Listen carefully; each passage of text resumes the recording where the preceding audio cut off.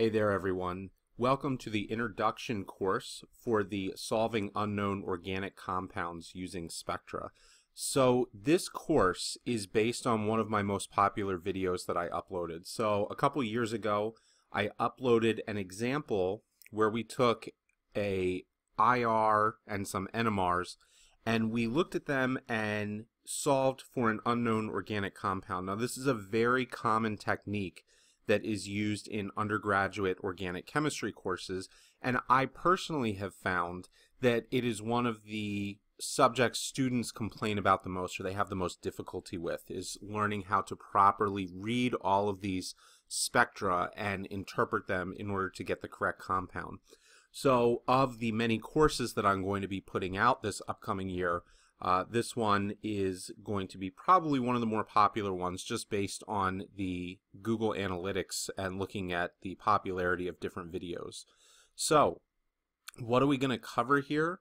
We're going to talk about each of the steps in detail. So we're going to calculate degrees of unsaturation. That'll be the first portion.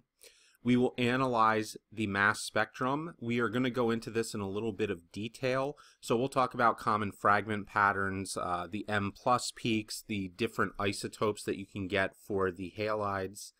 We're going to then look at analyzing the infrared spectrum, and we'll take a look at the most common functional groups and what region they would appear in. And then finally, we will obviously take a look at the carbon-13 NMR and the proton NMR because those are going to be where we harvest the bulk of the information and we want to spend the most time there whenever we're trying to solve these sorts of problems. Uh, especially in a testing situation where you have limited time, almost all of your focus should be concentrated in the C13 and the uh, proton NMR. I would say at least 90% of the time should be spent there. So as with the other courses that I have, you can support the channel. I have put together a 22 page informational guide related to how to solve these organic spectra. It's going to go into great detail. It's a support guide. It would complement the video course that I'm offering for free here.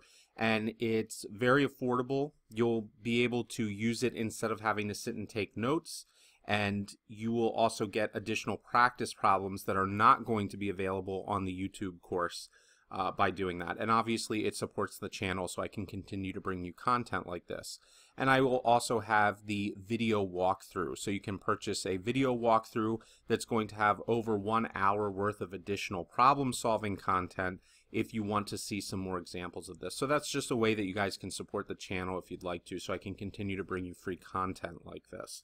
So that pretty much takes care of what we're going to be looking at. Just as a reminder, here's the sort of outline in terms of the problems that we'll be uh, examining. So you're going to have an IR spectrum. You'll have a mass spectrum. Uh, the mass specs that I provide are going to have the molecular formula when we are working through these unknowns because I believe in teaching students how to calculate degrees of unsaturation. However, if you don't have that in your class, um, that's okay. You can still use the mass spectra and identify the M plus peak and some of the common fragments. And then obviously we'll have the C13 and we'll have the proton NMR. Uh, the proton NMR is going to come with integrations when we're working with this.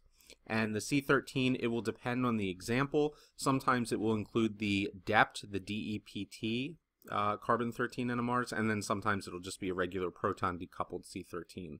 So that's what we're looking at. We are going to spend an entire course going through and analyzing how we would solve unknown organic compounds using this information. So I'm looking forward to working with you guys and I will see you over in our next video where we will start talking about how to calculate degrees of unsaturation.